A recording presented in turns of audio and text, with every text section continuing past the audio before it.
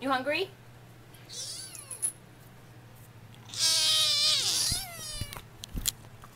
No, you can't eat the camera. Are you hungry?